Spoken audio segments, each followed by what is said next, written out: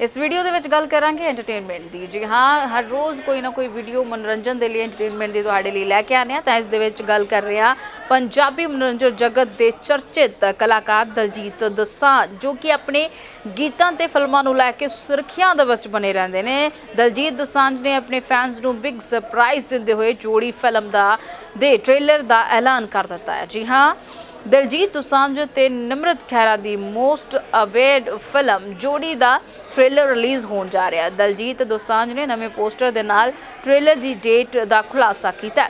ਦਰਅਸਲ, ਦਲਜੀਤ ਦੋਸਾਂਝ ਨੇ ਆਪਣੀ ਫਿਲਮ ਦਾ ਇੱਕ ਪਿਆਰਾ ਜਿਹਾ ਪੋਸਟਰ ਸ਼ੇਅਰ ਕੀਤਾ, ਜਿਸ ਵਿੱਚ ਉਹ ਆਪਣੀ ਫਿਲਮ ਦੀ ਹੀਰੋਇਨ ਯਾਨੀ ਕਿ ਨਿਮਰਤ ਖਹਿਰਾ ਦੇ ਨਾਲ ਨਜ਼ਰ ਆ ਰਹੇ ਨੇ। ਦਲਜੀਤ ਨੇ ਕੈਪਸ਼ਨ ਦੇ ਵਿੱਚ ਲਿਖਿਆ ਕਿ ਜੋੜੀ ਦਾ ਟ੍ਰੇਲਰ ਮੰਗਲਵਾਰ 11 ਅਪ੍ਰੈਲ ਨੂੰ ਸਵੇਰੇ 10 ਵਜੇ ਰਿਲੀਜ਼ ਹੋ ਜਾਵੇਗਾ, ਜਿਸ ਤੋਂ ਬਾਅਦ ਪ੍ਰਸ਼ੰਸਕਾਂ ਦੀ ਉਤਸੁਕਤਾ ਹੋਰ ਵੱਧ ਗਈ ਹੈ। ਇਸ ਪੋਸਟਰ ਉੱਤੇ ਪ੍ਰਸ਼ੰਸਕ ਤੋਂ ਇਲਾਵਾ ਕਲਾਕਾਰਾਂ ਨੇ ਵੀ ਕਮੈਂਟ ਕਰਕੇ ਆਪਣੀ ਸ਼ੁਭਕਾਮਨਾਵਾਂ ਦਿੱਤੀਆਂ ਨੇ।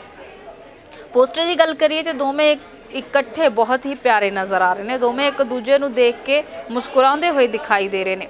ਫਿਲਮ ਜੋੜੀ ਅੰਬਰਦੀਪ ਸਿੰਘ ਦੇ ਸਭ ਤੋਂ ਵੱਡ- ਵੱਧ ਉਡੀਕੇ ਜਾਣ ਵਾਲੇ ਪ੍ਰੋਜੈਕਟਾਂ ਦੇ ਵਿੱਚੋਂ ਇੱਕ ਹੈ। ਅੰਬਰਦੀਪ, ਇਸ ਤੋਂ ਪਹਿਲਾਂ ਅੰਗਰੇਜ਼ ਲਾਹੌਰੀਏ ਲਵ ਪੰਜਾਬ, ਛੱਲਾ ਮੁੜ ਕੇ ਨਹੀਂ ਆਇਆ ਵਰਗੀਆਂ ਕਮਾਲ ਦੀਆਂ ਫਿਲਮਾਂ ਦੇ ਨਾਲ ਵਾਹ ਵਾਹੀ ਖੜ ਚੁੱਕੇ ਨੇ।